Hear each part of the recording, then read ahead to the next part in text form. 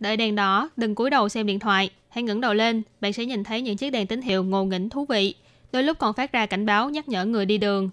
Hiện tại một số địa phương của Đài Loan có lắp đặt những chiếc đèn tín hiệu rất dễ thương, thậm chí còn kết hợp với lễ tiết hay tuyên truyền phòng dịch.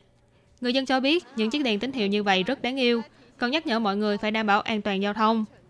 Ở Gia Nghĩa, trên cột đèn tín hiệu ngay đối diện trường trung học nữ sinh Gia Nghĩa, hình tượng người đi đường màu xanh lá được thay bằng cô gái mặc váy với chùm tóc đuôi gà bay phất phơ trong gió. Ai nấy đều cảm thấy thích thú. Mặc dù Gia Nghĩa là thành phố đầu tiên của Đài Loan sáng tạo hình tượng cô gái màu xanh trên đèn tín hiệu, thế nhưng đèn tín hiệu của huyện Bình Đông cũng không kém cạnh. Khi đèn xanh thì là hình trẻ nhỏ dắt tay người già, khi đèn đỏ thì là cầu hôn thành công, thành đôi thành cặp. Châu lưu sáng tạo đèn tín hiệu không ngừng lan rộng ở Đài Loan, các địa phương đua nhau trổ tài, không chỉ cho thấy tính sáng tạo vô vàng của người Đài Loan, mà còn thể hiện tình yêu thương ngập tràn của hòn đảo ngọc này.